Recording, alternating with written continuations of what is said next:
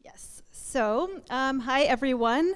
As Lucas said, my name is Frances, and I am the head of language operations here at Supertext. Um, also, like he said, I've been here for over six years, which means I've seen a lot, and I mean a lot, of questions and emails from freelancers. And as someone who's worked as a freelancer myself, I definitely understand the confusing aspects of navigating a relationship with an agency. So I put together this presentation to portray different parts of a collaboration with Supertext from both the freelancer perspective and the Supertext perspective. Um, this presentation might help you think of more ways to get more work from project managers, expose you to some helpful documents. Um, it might also just get on your nerves, but you know, that's what I'm here for. So first, let's meet Sylvia. She's a, a new freelancer at Supertext, and she happens to share a name with no fewer than four Supertexters, including more than 50% of the Italian team. So, how did she get here? Well, Sylvia thought she could use some more work. One of the main agencies she worked with was bought up by another agency, and she realized they were no longer paying on time, or seemingly ever. So she found about about Supertext on the ProZ Blue board um, and saw that they had a good rating, and decided to create a profile. And what do you know? Supertext also was looking for someone like her, someone with talent, experience, and creativity. But you know, Sylvia started losing her patience as she created her profile. There were just so many questions. Supertext was asking for things she didn't have or had never heard of, like proof of self employment. Also, a post editing certificate. Uh, with her other client, she just had to submit a CV and do some test translations. So she figured she would just upload her CV here. Anyway, it had all her information in it. A vendor manager at Supertext saw her profile after she'd submitted and thought, wow, that's a pretty impressive CV.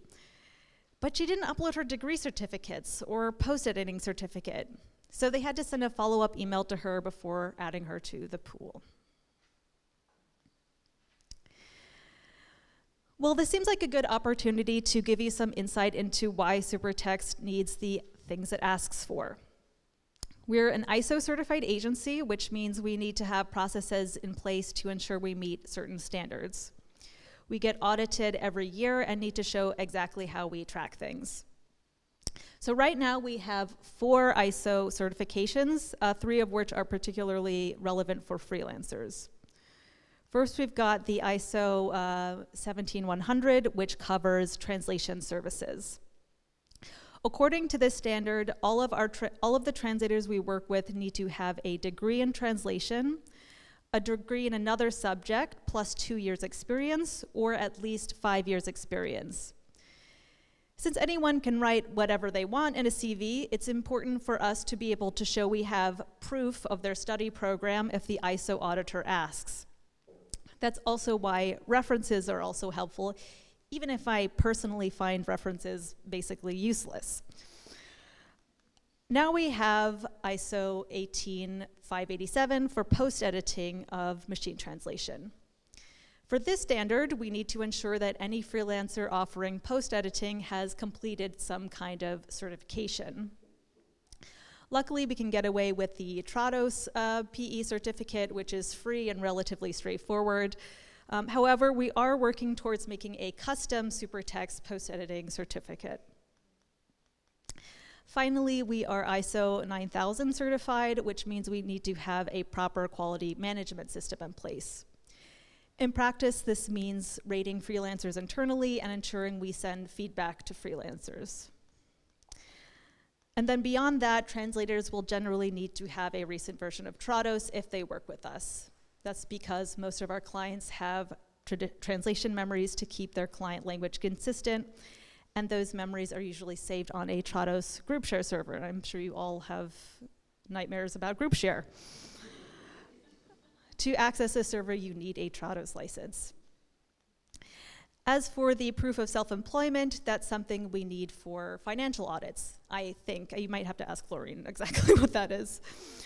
Um, so while the head of our vendor management team, Alex, will be the first to tell you how German she is, uh, we all ask for these, we ask for all these documents not because we love bureaucracy. These certifications help us sell ourselves to clients and get more work. So let's get back to Sylvia. She sent in her degree certificates after being asked by vendor management and finally had her profile approved. But then, nothing. After all that effort completing a profile and collecting documents, she went weeks without getting a job. Meanwhile, Supertext really wanted to try her out on a job, but it was financial report season and everything that was coming in was about yearly revenues. Sylvia was a marketing specialist, which we love, but sending her a 10,000 word report didn't seem like the right fit. And anyway, there's always a bit of risk involved uh, sending work to a new freelancer. So finally, a 500 word blog post came in, which was the perfect job for Sylvia. Sylvia was really happy to get the work. She really wanted to do a good job, so she spent extra long on it, rereading everything she wrote, tweaking here and there. And while Sylvia was working hard, the project manager at Supertext was holding their breath. They hoped Sylvia would accept the job they sent quickly. It really starts to pile up when you have dozens of jobs that need to be placed and it's easy to miss something when you're waiting for freelancers to respond. When Sylvia did accept, and she did accept quickly, bless her heart, the PM started thinking, I hope she reads the instructions and the style guide, and that she uses the term base, and the TM, and that she understands GroupShare, and of course that she writes well, and delivers on time. And, well, you get the picture. There are just so many things to keep track of to keep our tech super, and when clients complain, the project managers are the first to get an earful. So yeah, I'm coming back to that point about accepting quickly. Uh, project managers at Supertext are each managing dozens of jobs a day and are constantly interrupted by new requests, questions from freelancers, target files that can't be created, and the like. For context, uh, we managed 200,000 jobs last year, so that's a lot of coordination. Some agencies automatically send jobs to large pools from the beginning, and whoever accepts the job first uh, is the one who takes it. So we'll sometimes resort to this, but in general, we try to send jobs to just the right person and wait to see if they can take it before offering it to someone else. And some of these orders need to, need to be translated into 15 different languages. In a case like that, it can trip up your entire day if you're waiting to see if those jobs get taken. However, do keep in mind that you should only accept jobs if you really have the time to do a super job. If you reject a job quickly, the project manager will know to find someone else straight away. And speaking of things that take time, Another tip for me would be to read. I mean, you all became translators and copywriters because you love to read, right? um, I know, and I know all those different documents and bits of information can make your eyes glaze over. It's happened to me. Uh, and you can almost definitely, you'll almost definitely come across stuff that isn't relevant. But I can't tell you how often it becomes apparent that someone hasn't actually read the briefing.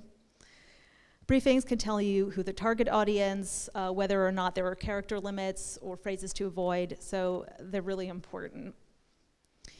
And don't forget the documents on the info portal either, which is where you'll find relevant style guides and other infor important information about SEO, subtitling, and proofreading PDFs. These aren't just fun extras, they are ways for us to streamline our processes and make sure we're delivering consistent quality. And definitely don't forget to read emails and to read them to the end. I'm the first to admit email can be a drag, but no one seems to answer the phone these days. And we have Sylvia again. She did a super job on that first order, and so the PMs have been sending her more and more work. But one day she gets a GroupShare job that doesn't open properly. Everything should be set up correctly. She's worked on GroupShare jobs before, but she just got this error message saying she doesn't have permission to work on a job. So she writes to the PM. Well, the SuperText PM luckily has a template saying, please try closing and reopening Trados that they send out multiple times a day. Yes, sometimes the server is down or you could be having trouble with the API token. Our GroupShare guide has been updated to be more clear. But in most cases, uh, closing and reopening Trados will solve the issue. Also, in general, it's a good idea to familiarize yourself with Trados before you start working with us. But then, tragedy strikes. Sylvia opens her email to find critical feedback on a translation. She panics. She worked so hard on that translation, and it seems like she overlooked something in the briefing. Oh gosh, she thinks, is this the end of my relationship with Supertext? At Supertext, though, we want to give feedback as much as possible, even for translations of good quality. It's one of the ways we've tried to set ourselves apart from other agencies. Sure, we'll send feedback if we're disappointed, but we'll also send feedback if you've missed some small thing in the style guide. And if, even if you have an off day, it doesn't mean you're out of the pool if you implement the feedback. Sometimes feedback discussions can devolve into an endless back and forth, which just sucks time for everyone. And plenty of stuff, most stuff even, is subjective or just client preference. So feel free to disagree with someone's assessment or even send a response or justification, uh, but keep in mind that project managers and language specialists are managing dozens of jobs a day, so it might fall on deaf ears. then there's more bad news. Sylvia finally rejects a job. She's a bit worried what the project manager will think when she presses that scary impersonal red rejection button, so instead she sends them a polite email. But here's the thing Sure, it's much better to write an email saying you can't accept a job rather than not writing anything. But the problem is project managers and language specialists sometimes have to pass on jobs to other people.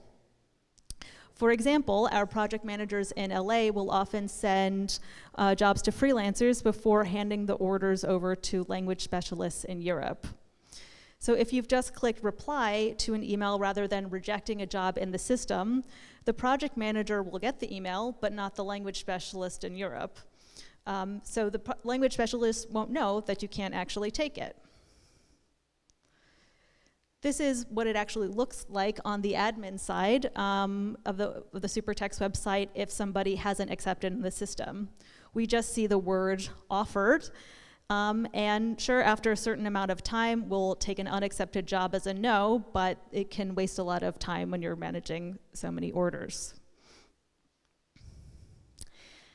All right, after six months of working with Supertext, Sylvia finally has a hard-earned vacation. She's set up her out-of-office message and is off to Tenerife for three weeks. Meanwhile, a, a, project manager in LA has sent out a job to Sylvia at the end of the day to pass off to the European office. But when the European PM opens the job and sees that it isn't in progress yet, she wonders, huh, why hasn't Sylvia accepted yet? I hope she's all right. You see, they didn't get that automatic reply. So you can tell us when you'll be available by going to the availability tab in the freelancer page and enter the dates when you'll be out. So then we'll be able to see in our system when you're away. Things have been chugging along.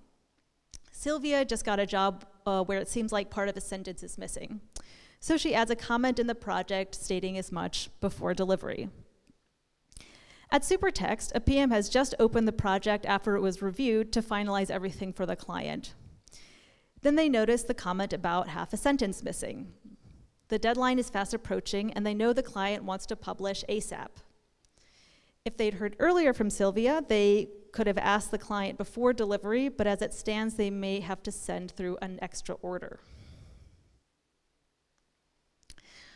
It isn't always easy to tell when to flag something to a client and when not to, even for project managers and language specialists.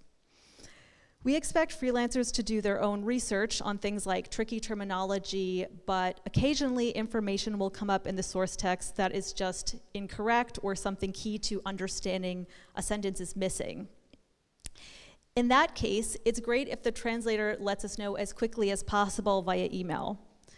It's something that may affect other languages as well, not to mention parts of the text, other parts of the text. Uh, small issues like typos or misspellings can just be flagged in comments.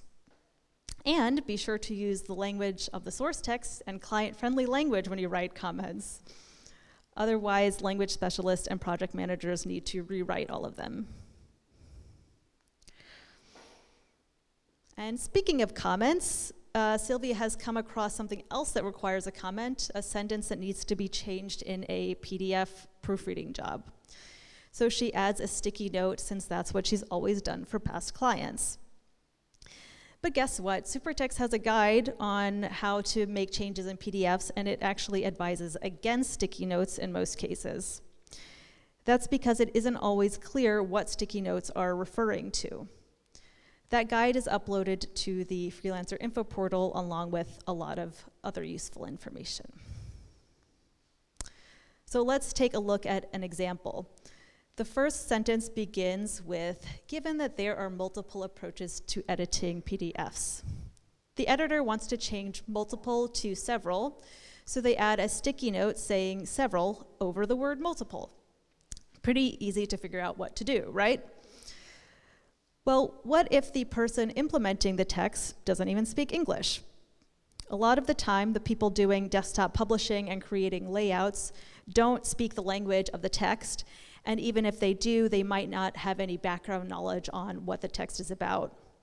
So if you didn't speak English, would you immediately assume that the word multiple had to be replaced? Or might you think the word several just needed to be inserted without deleting anything? Um, that's why we prefer the designated markup tools in Adobe. There are also specific functions for deleting, replacing, and inserting, so it's clear to the graphic designer what they have to do.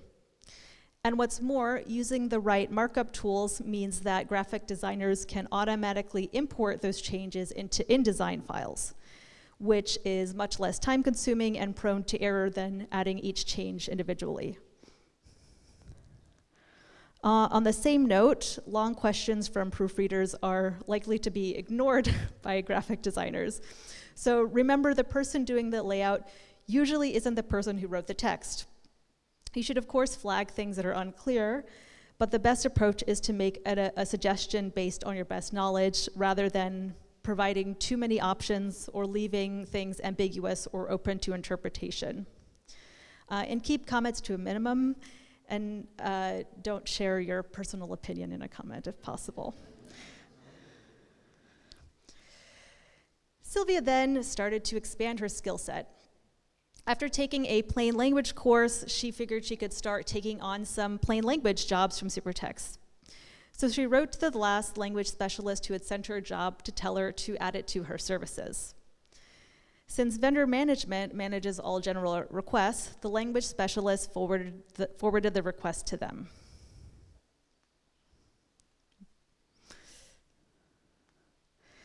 Sylvia had another general question. She realized she was getting a lot of dry IT texts and wanted to get more marketing jobs, if possible. She wasn't sure who to write to, so she wrote to the head of the Italian team, who then forwarded the request to vendor management. Sylvia then decided she wanted to provide Supertext with an hourly rate for jobs that couldn't be billed by the word, like transcriptions. Not sure who to write to, she sent an email to the info account. Head PM Jenny was monitoring the info account that day and forwarded the email to vendor management. After being told over and over again to reach out to vendor management with questions, Sylvia knew who to talk to when she had a question about when her invoice would be paid.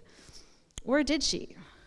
Well, questions about invoices should ideally be sent to the billing department who manage invoices.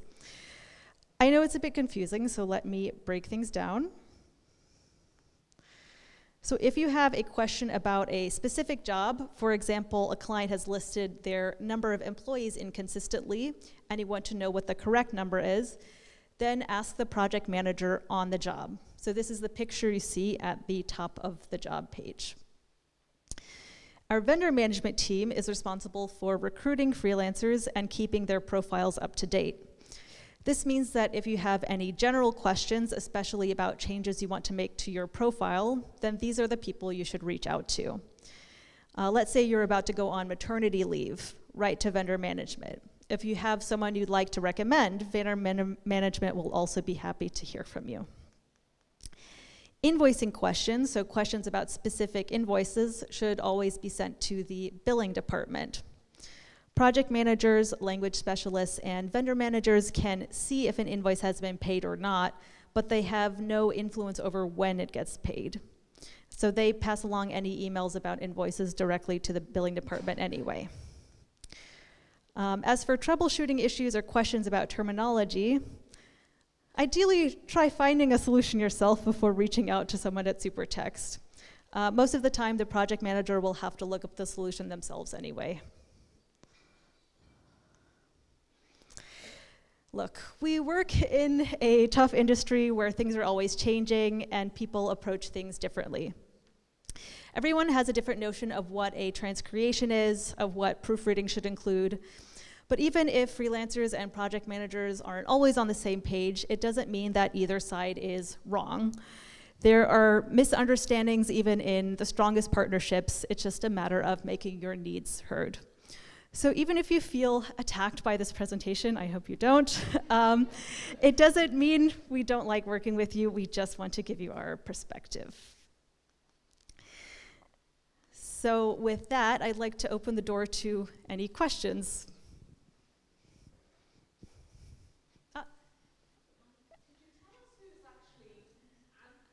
Uh, do you tell us who actually um, is involved in answering those emails from vendor management? Is that the project managers or sales? So we have our vendor management team who also set up the entire convention. So that's Juliana, Alex, uh, Al Alex and Lexi, two Alexandras. I don't, I don't see where. Actually, I don't see it where Alex is. Is she? Yeah. Ah, okay, I hidden by the pillar. Um, but yeah, so they they they are the vendor management team, and those are the three people who will respond to your requests.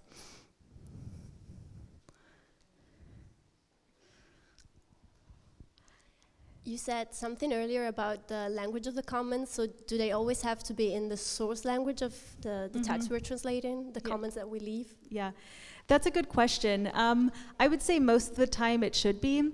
Um, it, it sort of depends. Um, I think if you get it, most of our clients are based in Switzerland and Germany, so usually they, those are, that's the language that they'll want the comments to be in. Um, but like for example, with proofreading jobs where there's just, um, the client has, uh, it's just one language anyway, then you, you, the comments should be the same language as whatever the text is in. Um, I would say if it's unclear, then maybe you can just ask the, the project manager which language it should be in. But for, in the most case, I would say German or whatever language the source text is. Yes? Hang on, hang on, hang on. I have a detailed question. I mm -hmm. do relecturing, and quite often I notice mistakes in the source language. Yes. Now, if there are little mistakes in the source language, I make a flag or I make mm -hmm. a mm-hmm. comment, of course, on the, on the target language. But I must be honest, if there are too many, I don't because it's too time consuming. Mm -hmm. So what is your suggestion? Yeah, that's a really good, uh, that's a really good point. I think if you are noticing that there are a lot of issues with the source text, um, even before delivery, send an email to the project manager to say there are a lot of errors in the source text. Uh, I would recommend getting the source text proofread or corrected um, before uh, doing the translation. Um, because, I mean, yeah, I think in that situation, it is an, a scenario where the project manager might say, okay, let's edit this before even doing the translation. So in that case, I would also maybe flag as earlier uh, to the project manager rather than with comments at the end.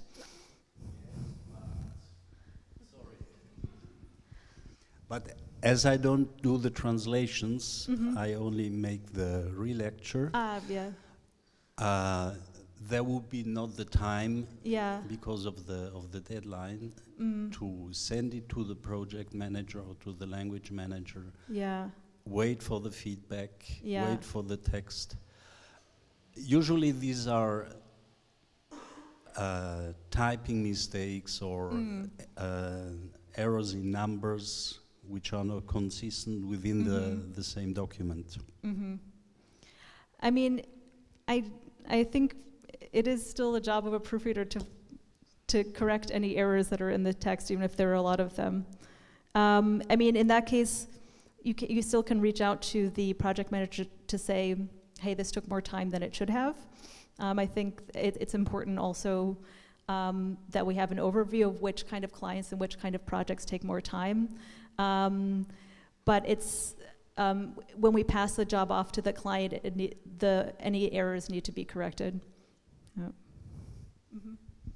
Uh, what's the situation, or what, what, what's your guys' preferred way of handling things? I have, if I'm doing a big long text, as let's say 3,000 words or whatever, and I've got a dozen questions about Mhm. um, abbreviations, or Mhm. what does this phrase mean, or this, what, this, and the other. The way I do it is I, I just have a, an Excel file Mhm. with the questions, a suggestion if I have a suggestion, Mm. and then send it off. But obviously, with deadlines being what they are, sometimes that happens on the same afternoon that I'm due to send the job. Uh, Do you guys have a, a preferred way of handling that? Or? That's a good question. Um, I would say that we don't really have a specific preferred way, but I do think it's good to have sort of an approach like what you do, where you collect all the questions and send them uh, at the same time. Um, I like ideally before the deadline, but um, yeah, I know that that isn't always possible as well. But at the very least, um, if you send it um, at the same time as delivery, if it's a translation, then there's time during the proofreading phase uh, for those questions to be checked. Um, so yeah, I would try like exactly like you do, just kind of collect it all in one place and send them at the same time. Yeah. Mm-hmm. You just interrupt me. Mm-hmm. Uh, what do I do if I notice uh, mistakes in the TM or in the term base? Oh. When it's very, Oh. what I usually do is when it's really a bad mistake, I write it to the language manager, Mm-hmm. but I never know if he will read the email. Mm. It's they we sh- we do read the emails for the most part.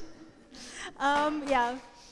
Um, yeah, I think I think just writing to the, the project manager or ling- language ma- manager specialist is the is the best you can do. Um, and like we, we do read those emails, um, and hopefully someone will correct it.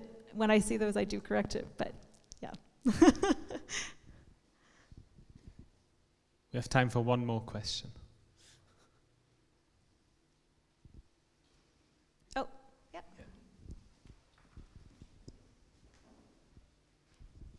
Uh, I don't work a lot for you, but I never get any feedback, be it good or not Okay. good. Are you Yeah. still happy with me, but you just don't write to me, or do I do something wrong?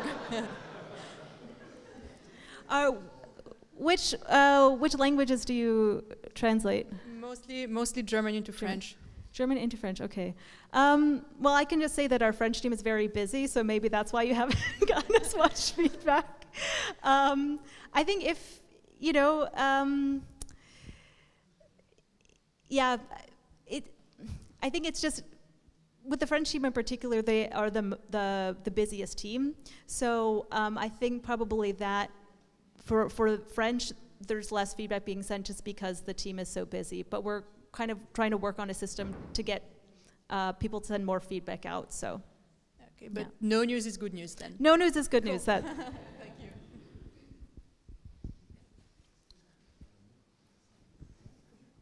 okay. Oh, sorry. All All right. right